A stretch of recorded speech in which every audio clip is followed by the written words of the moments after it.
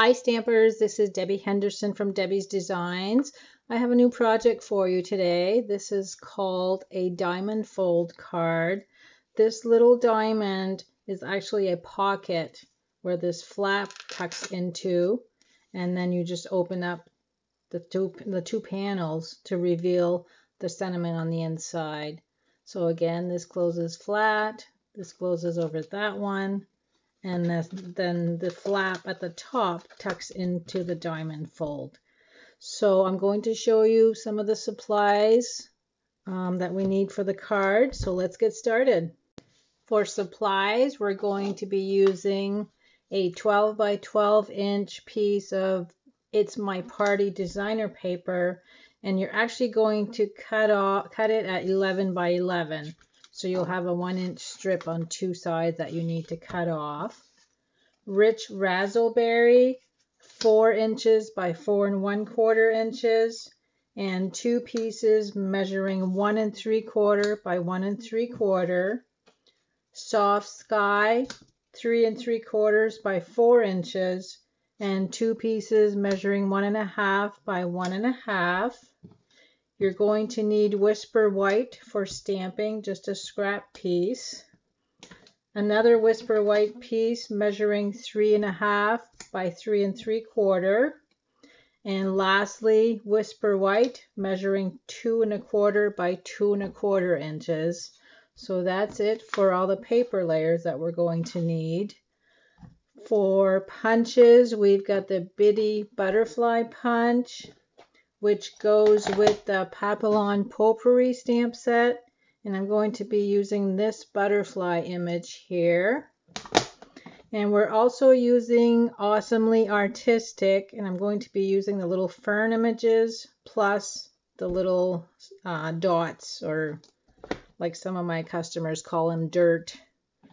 For ink colors, Soft Sky, Melon Mambo, and Rich Razzleberry. So let's get started on our project. I'm going to bring in my Simply Scored scoring tool. And for my designer paper, I want my stripe side to show on my card. So I'm going to flip it on the opposite side. And I make sure that this is tucked into right directly in the corner. And we're going to fold this over, if I can grab it. Just kind of works as a little holding tool at the same time. So we're going to score that nicely. And now you're going to turn the designer paper so it's sitting up against the ridge here. And you're going to score twice, three inches and five and a half inches.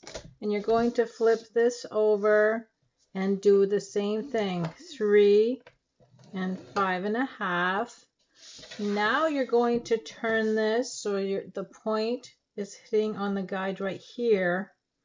But make sure that you line up your designer paper so that it's sitting straight against, let's see, it looks like the 7 and 7 eighths inch line right before it. And you're going to find the three and a half inch score line and just work your way down and score that right there. Okay, that's it for the scoring portion. Now you're going to bring in the bone folder and just fold everything on the score line on all of the score lines and I'm folding every everything towards the inside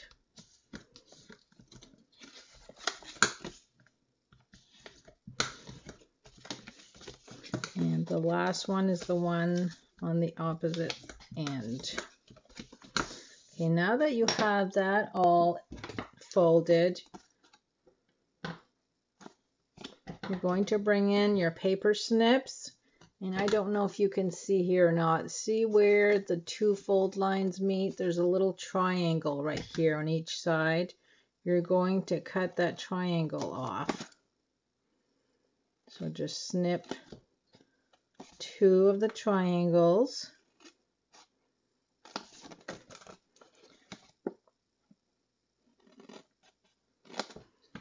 And this is what your cardstock or your designer paper should look like at this point. The next step, what we're going to do is glue each side together so that this, no longer opens, but you're going to leave this little triangle to the first score line. You're not going to add glue to that one because once we have this all glued, this is where we're going to open this up, press it down, and there's your little diamond fold. This is what your card is going to tuck, the other end is going to tuck into this diamond. So let's open this up.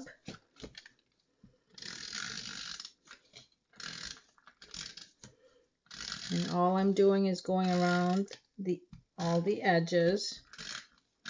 And as I said, do not go into this portion of it. And we're going to fold this over and press everything in place. Okay, I've trimmed all of the edges that were not even, so everything's nice and even. And again, you have the pocket on this side that remains unglued.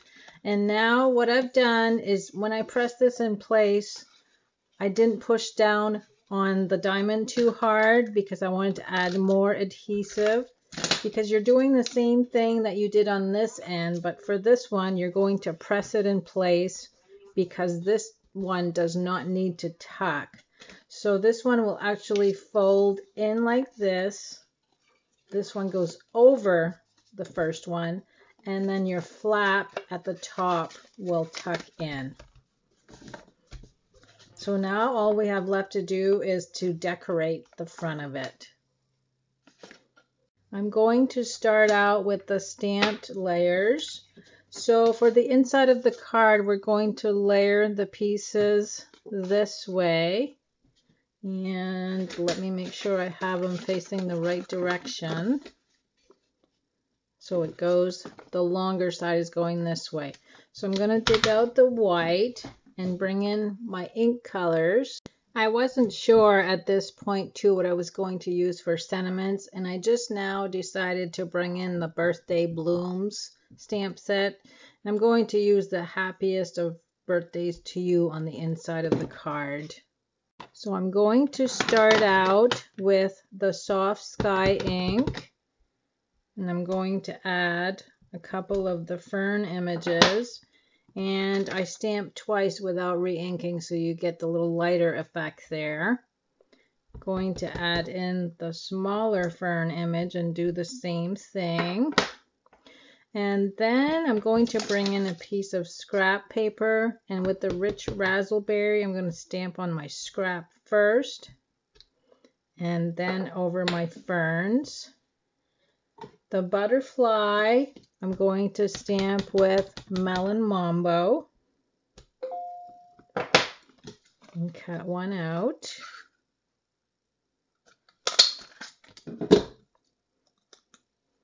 And we're going to position him right over the stamped images.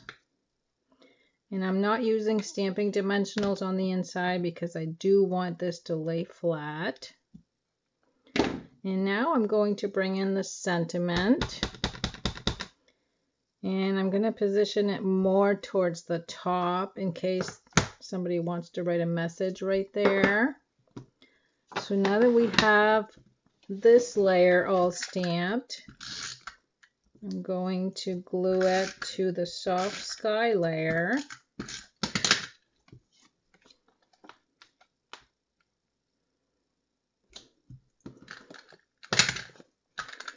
And follow that with rich razzleberry.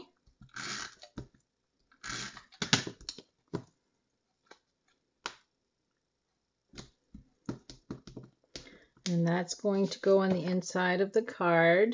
So we're going to add adhesive to the last layer that goes to the inside. Okay, so that that's what that looks like on the inside. Now we're going to fold this over and bring in the smaller squares. I'm going to add the soft sky to the rich razzleberry. And we'll just glue that to the center of the square. Or I guess I should call it a diamond. And for this one, I'm just going to add another butterfly.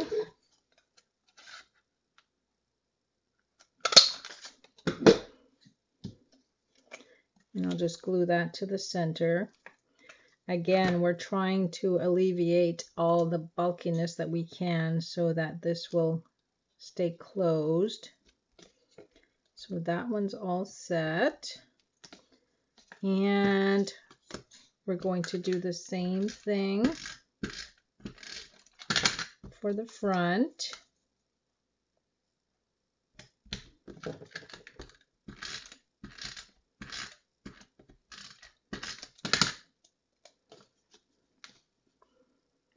Now for the front, I'm going to do something a little bit different only because this is designer paper and it is a little um, flimsy where the fold was in the center. So that's what this Whisper White layer is for. We're actually going to put it on the inside of the, the pocket, the, the front part of the pocket. So my adhesive, I won't put any right on the edge right here just so we can tuck it in and glue it in place. And that's just going to add more stability so that this will stay closed. Before that it was flimsy and it kept popping out, but now we're all set. So now I'm going to bring in the for you. I'm going to stamp that right there and we're going to use one more butterfly. This will be the last one. And this one I am going to use stamping Dimensionals. I'm actually going to use my scissors and just cut one of these little tiny pieces on the edge because this is so small I don't want it showing from behind. So there, our card is finished. You could always add some ribbon up here. Um, I don't have any soft sky or rich razzleberry to match that right now. I ran out of the um, the glitter ribbon that we have that would be so perfect for up here. But this tucks right into the pocket. So when the recipient opens it, it goes this way and this way. And there's the inside of the card. I hope you liked my project for today and I hope you'll give it a try.